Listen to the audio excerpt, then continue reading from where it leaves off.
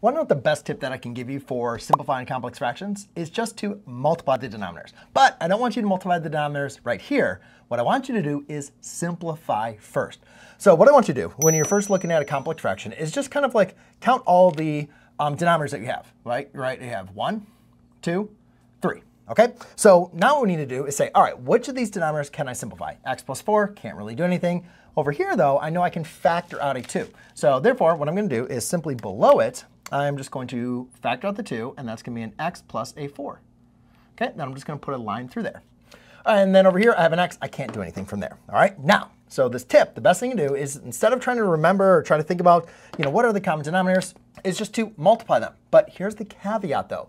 You have to first simplify, and then two, you don't need to like re-multiply things, like you don't need to repeat multiples. Right here I have an x plus four and x plus four. I don't need to continue, like I don't need to put x plus four squared.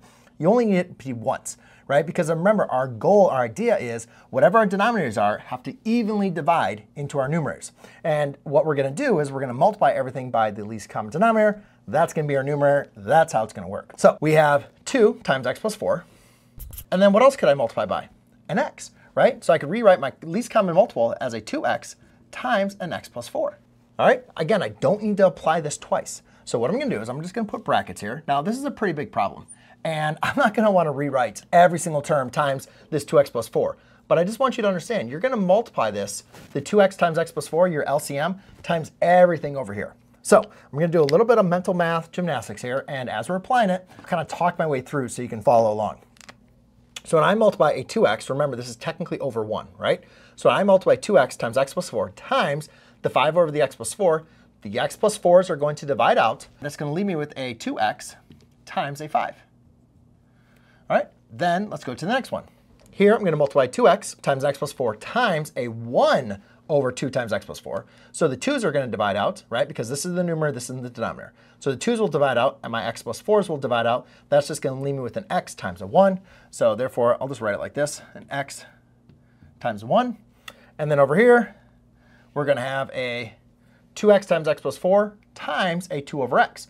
Well, here the x's are going to divide out, and that's just going to leave me with a 2 times x plus 4 times 2. So that'll be a 2 times an x plus 4 and then times 2.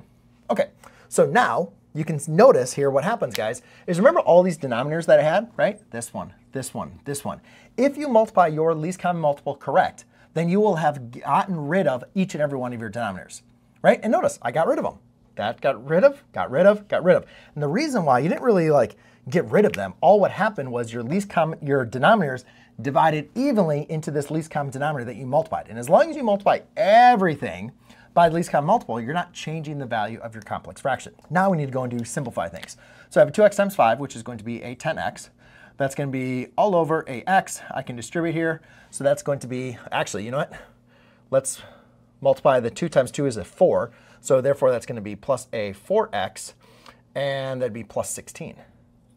Cool, and now I can rewrite this as a 10x all over, let's see, what is that going to be, a 5x plus a 16. And now let's go and look at our values that are going to be restricted. So when you're dealing with a complex fraction, what I always like to say is like, all right, what are the values that x cannot equal? All right, well, those are going to be the values that are going to make your denominator equal to 0. So you could say x cannot equal 0, right? x cannot equal negative 4. This would be the same thing. And then also here, if you were to set a 5x plus 16 equal to 0, what would that be? Well, again, let's just kind of do the work over here. You know, if I had a 5x plus 16 equals 0, So applying just your operations here, you get x is equal to a negative 16 over 5. So hopefully this video gave you some good value as far as some tips on how to approach simplifying complex fractions. In the next video, I'm going to show you the most common mistake that students are going to make when simplifying complex fractions. I'll see you in the next video.